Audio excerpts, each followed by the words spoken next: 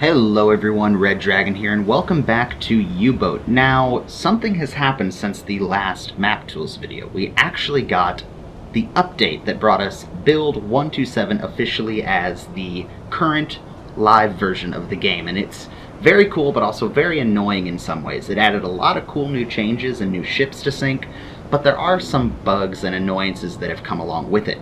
If you would like to see me go over some of those excellent changes and kind of annoying changes, there will be a video out either later today or tomorrow covering my brief thoughts on Build 127. A link is popping up somewhere on screen and will be in the description below and at the end of the video. But today we are once again manually targeting torpedoes for our kills. Today's focus is going to be what if you cannot use the periscope? What if it's hazy, cloudy, foggy, nighttime, or you just don't want to use the periscope? What if you want to prosecute your targets just in the map? How do you find speed? How do you find distance? Is there a better way to find the course? All that we can answer today. All of the settings are pretty much the same as the last video. We have we have hardcore aiming mode turned off. We are running with Darker Nights turned on. Um, we are running the same time compression. We aren't using the new Build 127 time compression. Um, but we are going to see a lot of new ships, hopefully, so stay tuned for that.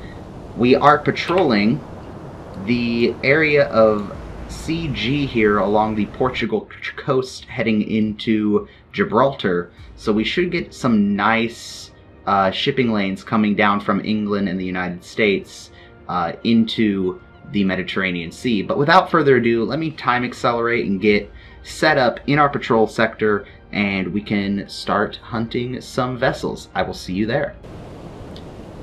Another small side note I should point out while we're on our way to the target area is we have a long distance to travel in the patrol area. We have to sink a whole bunch of enemy trade ships. We brought our war correspondent with us, and now we gotta go find a lost U-boat in the next two days before they die. So I'm probably going to skip over all of that until we find a convoy to sink. See you then. One eternity later. Alright. Where is this guy at? Oh, hello. He is back here. Well, that's nice. They gave us a ship to go sink.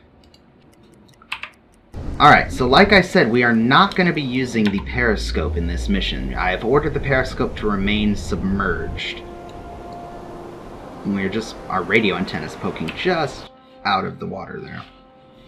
So let's time accelerate and wait for these guys to get into hydrophone range. Alright.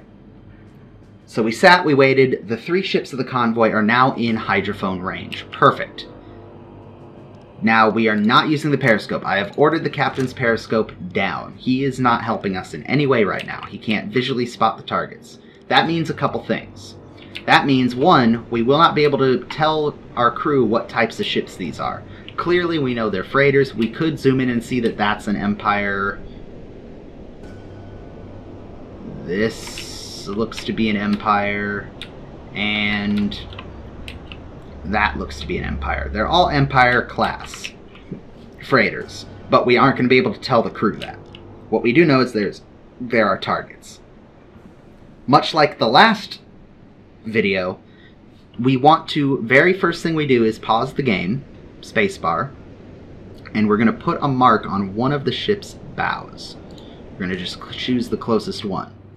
And of course, we're going to leave it there as we do all the other things, and once we're done, we're going to mark it again to find their course. But we can also use that mark to help determine their speed at the same time. So we put a mark there. The next thing we're going to do is a little trick called the three minute rule. Now, the three minute rule works if you are in mixed measurements. So kilometers is your distance measurement, kilometers and meters, and your speed measurement is knots the math works that this little trick helps you find their speed. So we just put a point on the bow of that ship. We are going to, even though we can't see out of the periscope theoretically, we're still going to go into the periscope. We're going to go into manual mode and we're going to open the chronometer tool, right? you are going to the game is paused by the way it's still paused from when you put the mark on the ship it's very important that you pause the game because we don't want don't want the ship moving yet you're going to hit start on the chronometer tool and unpause. Now even though we can't see the ship this is still going to help us.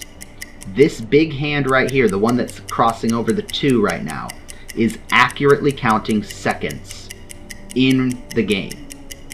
This little hand is supposed to accurately count minutes, but as you'll see, it is at 20 seconds, and as it comes down to 30 seconds, it's going to pass over the 1. So I'm hoping the developers fix the uh, mechanics of the clock so it's a little more accurate. But we're going to count 3 minutes in-game with this stopwatch, focusing just on this big hand. So 3 times around the clock face is 3 minutes in-game, which means you don't have to wait 3 minutes in real life, you can time accelerate. So that's 1 minute, that's two minutes, and we're going to slow time acceleration down just so we can be as accurate as possible. And once it hits three minutes, we're going to pause time. And pause. And we're going to stop that ticking noise. So that was three in-game minutes. So let's go back to the map. And you can see, obviously, three minutes passed, the ship's moved. We're going to put the same mark on the bow of the ship here. So now we have where they were, where they are, and we are going to measure that distance. Alright, so according to this measurement, the ship moved 450 meters in 3 minutes. That we can take and divide that distance by 100. 450 divided by 100 is 4.5 you will use that number, 4.5, as your speed for this convoy, 4.5 knots. It is not laser accurate if you go to Google and type in kilometers per hour to knots or meters to knots. Here, let me do this. Uh, meters per second. So again, I said this earlier, this is not laser accurate. If I were to go to Google and I want to figure out how many knots this actually was exact down to the decimal, I would do 500, so 500 divided by 180 for, so it's, no, it's not, sorry. So 450 divided by 180 seconds. So that's 2.5 meters per second, which is 4.85 knots. So it's not exact, but it's close enough that your torpedo should strike the ship. So for a good rule of thumb, divide the meters the ship traveled in three minutes by 100 and that is the speed in knots roughly for your for the ship. Everyone follow along. So 4.5 knots is the speed that ship is going. Now, if you are using one of the other measurement systems in the game, you could theoretically do this exact same type of math. Now, a real quick note on the measurements in the game. Mixed is my preferred, kilometers is your measurement of distance, knots is your measurement of speed. The next one I would probably use is metric, and I probably will switch to metric eventually. Uh, metric is nice because you can do roughly the same math um, to figure out uh, speed a little bit more accurately. Case in point, 450 meters in 3 minutes. We need to find what that is in 60 minutes. 3 goes into 60 20 times, so 450 times 20 is 9,000 meters, or 9 kilometers because there's a thousand meters per kilometer. So in so in kilometers and kilometers per hour, so the metric measurement, kilometers and kilometers per hour, that ship is going 9 kilometers per hour. And I believe if I were to go select that ship, I should be able to type it in in kilometers per hour. So speed 9, 9 kilometers per hour. I would probably venture to guess that that is a more accurate measurement than the three minute knots rule. But since most people are going to be playing on mixed measurements anyway, let's go back and do menu, settings, gameplay, mixed measurements. Exit. And you can see it rounded it to 5 knots, but really we're going to put 4.5 and it rounds down to 4. But 4.5 knots is what I'm going to put in for this scenario. So use whatever system you think works best for you. If you're a metric person, use metric and just know you need to do whatever math to make it meters over 60 minutes or meters per hour. If you're using the three minute rule, it's as simple as waiting three minutes, measuring the distance the ship moved, and dividing by 100 meters. And if you're using nautical measurements, you're smarter than I am because I don't understand how long a cable is. I don't understand how long a nautical mile is supposed to be compared to a regular mile. You are a smarter man than I am, and any advice on how to measure and plot course and targets with nautical miles as your preferred measurement system, please leave them in the comments below because that is confusing to me.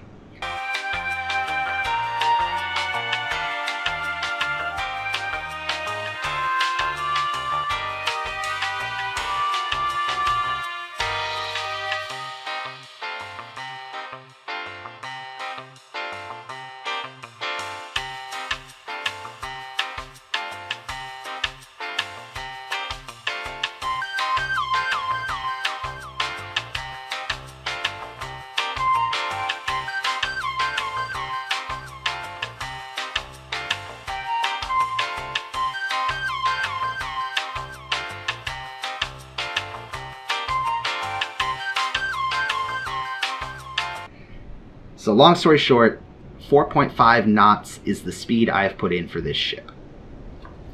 If you are confused about that, please say it in the comments below or hop on over to our Discord server and ask in the U-boat chat, and I will try to clarify as best I can. And because these are guys are traveling in a convoy, I can safely assume they are all traveling at 4.5 knots and 4.5 knots. Bingo. So we have a speed. Next we need a course. Conveniently, that measurement actually crossed one of our grid lines here, so we can pretty easily find the course. So let me just make a east-west line here. You should recall this from last week's video, but let me quickly run through it. North is 0 degrees, east is 90 degrees, south is 180 degrees, and west is 270 degrees. So if we were to go from east, being 90 degrees, to the intersect point where they cross this line, we can get nice and close and super accurate. Boom. And so we have 90 degrees plus 96 degrees, so that is 186 degrees, which, based on the direction they're going, makes sense, because south is 180, 6 degrees more, boop, makes sense. So we now can put in their course as 186 for all these ships. 186, bingo. 186, bingo. And 186, huh. Alright, so we have their course, we have their speed. Now we need to figure out how far they are going to be from us when we fire the torpedo. Or roughly when we fire the torpedo, because everything is an estimate. Remember that. Everything's a guess until the torpedo hits the target. So all I did was I marked bow, the bow of each of the other two ships, time accelerated a little bit, and then using and then put another mark on the bow, and then using that line, I drew a slightly longer line out to here, and then using that line, I lined it up and drew an even longer line out past in the front of my ship. So that should be approximately where they're going to go in the next several minutes as I set up the torpedo course. Now, there's two ways you can measure, and most people are going to click on the ruler tool, click on where their U-boat is, so right about there, and they're going to draw a line out in front of them go, that ship is three kilometers from me. Cool. So let's just assume that the nearest ship is 3 kilometers to us. The way I like to measure my distance is using this compass tool. Now, not a compass that aligns magnetic north and south with the Earth, no. This compass tool is the one that you use to draw perfect circles on drafting boards. See how it creates a nice perfect circle at whatever distance I want? We're essentially going to use this to make sure that my um, distance to targets are nice and measured out. Kind of like you would at like a shooting range. You would measure you know, a thousand meter, you know, 500 meters out, a thousand meters out. You know, you would make you would mark the range of the range so that if you wanted to practice shooting at a specific distance or sight your gun to a specific distance, you knew where the target was. We're going to do a similar thing with the uh, map here. So we know we maximum distance we want to shoot is five kilometers. So we're going to find where this this ring changes from five to four. So five, four, so five kilometers is about right. Come on. Right there. It doesn't have to be exact. You're never going to get it exact. So just do the best you can. Four kilometers is about right. There. Three kilometers is about right.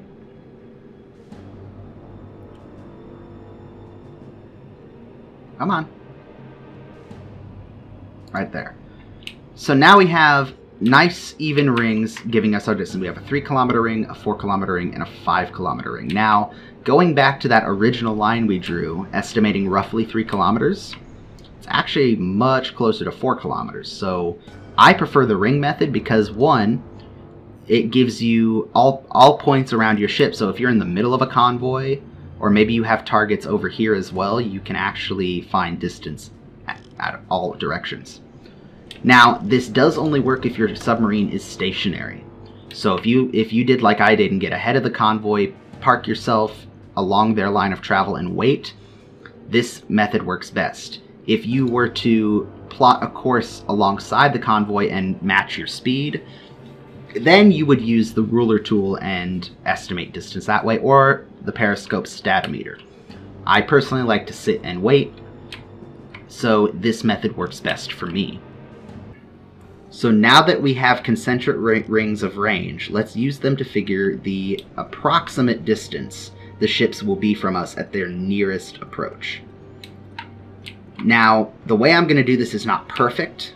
I'm sure some of you are going to point out, well, wait a minute, what about this factor that you're not considering? Yes, but for small convoys like this one here, it works fine. I, I have some ideas on how to make it even more accurate, but I want to practice them a, a little bit more before I share them with you guys in a video. That being said, so let's go with the furthest ship from us first. Its closest approach is going to be approximately here. Now, let's put a point there. We can measure from where we want this torpedo to strike the ship roughly, the rough area the ship's going to be.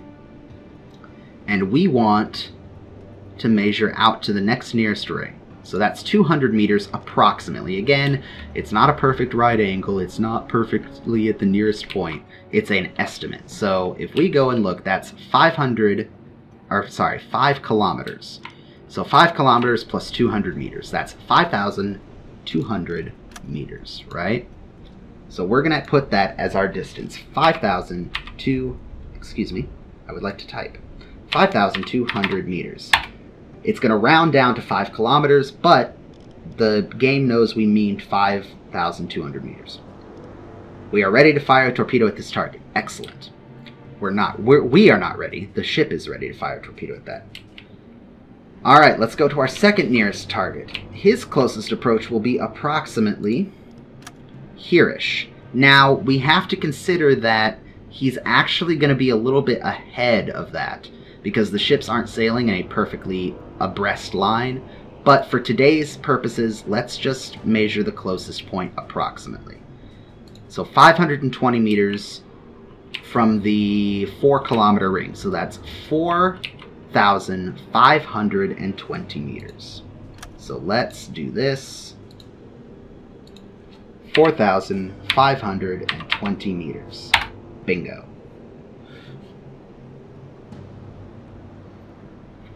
rounds down to 4 kilometers. I'm fine with that. The game knows what I mean. And the third ship here, his closest approach to us is going to be about... So 70 meters in from the 4 kilometer mark. So his closest approach is going to be 3,930 meters. Alright, so let's punch that in. 3,930 take some time before you set everything up to fire the torpedoes, before the ships are on top of where you want to shoot them at. take some time to double check. So yeah, we had what 5200 for this ship. Let's double check that was the 5 kilometer ring plus 200. Yes, cuz I've very easily done the thing where you go, "Oh, it's the 3 kilometer ring." My you you know, you just have the wrong number in your head, so you put the wrong distance in. I have done that. Don't make that mistake. Take the time, double check your work like your math teacher always said to do and double check that the distances are right. Looking at this, 5200, 4520, 3000, so 4000 minus 70, 39, 30. Yes, that lo all looks correct. Um, our guy, let's make sure he's up warming torpedoes because he's been asleep this whole time. So we need to warm the torpedoes. In fact, we're going to order our engine guy to go warm torpedoes because I forgot about that. That's kind of a downside of the scheduling is um, if I'm at a dead stop, I would like the engine room guy to not work the engines. If the engines aren't running, he should be doing the next thing I ordered him to do. But I digress. So we're going to wake these guys up, have them warm torpedoes. We're going to time accelerate a little bit. We got plenty of time before the ships are in the optimum firing point here. Okay, let's do right there. That seems like a good spot to fire the torpedoes at. Let's double check that all our, our torpedoes are warm. All of our torpedoes are warm. Excellent. So we have a course of 186. We have a speed of 4.5 knots, approximately. And we have their approximate distances figured in. So starting with the furthest freighter from us, we are going to unpause the game, Flood Tube 1. And... Fire. We're going to flood Tube 2. And while it's flooding, select the next nearest target. And get ready to fire. And then for our target ship, the Empire Lily, which I know to be the nearest one to us, we're going to fire two torpedoes. And any moment now. Fire. Alright, that should do it, I hope. Let's go into the cinematic view and hope that I don't do a repeat of last video and miss the target live on camera.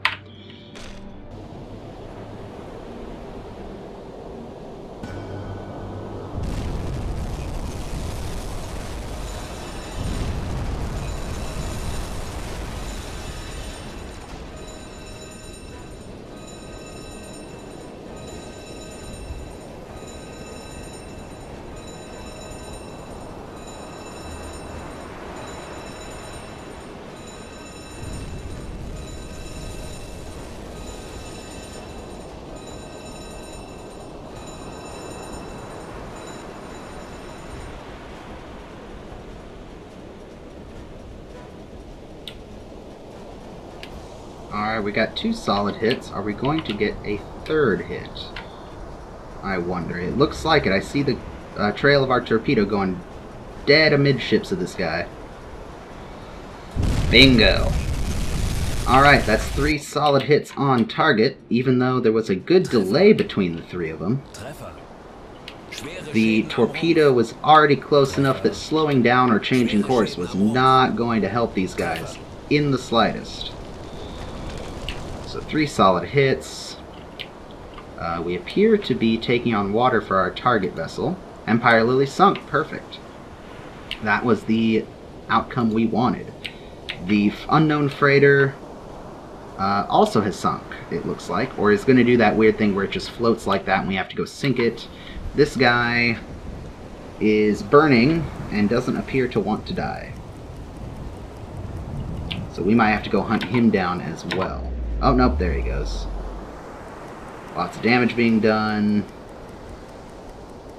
That's another thing. I think the health bar is kind of dual purpose. So the light green is the ship's health. The faded green is its health, but it's also got still has watertight integrity, I think.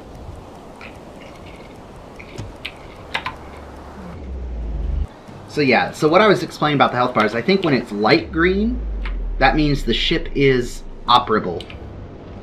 When it's faded green, it's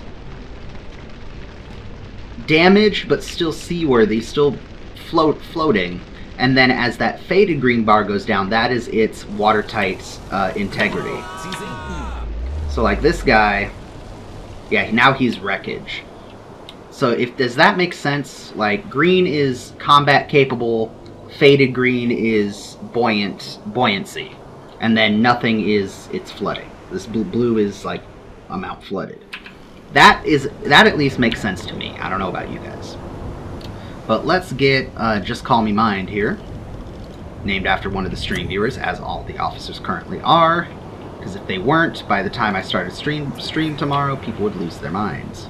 Anyway, let's get him on the deck gun, go take care of this guy who just refuses to sink, pump a couple high explosive rounds into him, and call it a day. Alright, let's sink this guy.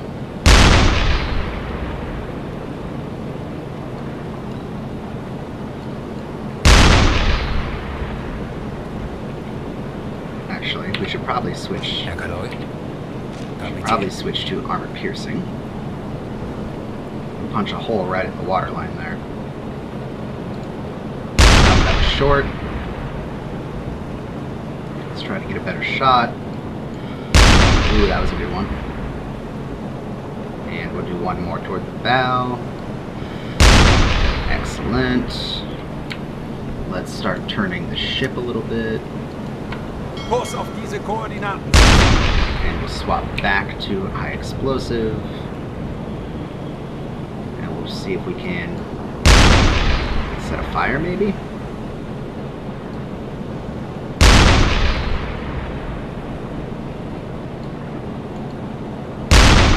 Come on, guy.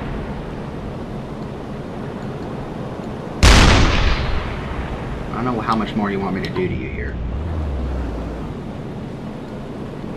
There we go. I found that if you fire a high explosive round or into a hole that you made with your armor piercing, tends to do a lot of fire damage. And let's bring her back. Nope, that's not what I want. Alright, she's sinking. Excellent. Alright, let's scroll wheel out. Okay, you can stop that. Ceasefire. Ceasefire. You are relieved of duty, sir. Go chill. You, please radio the Empire L- Lytton? Whatever. Empire Lighton has been sunk.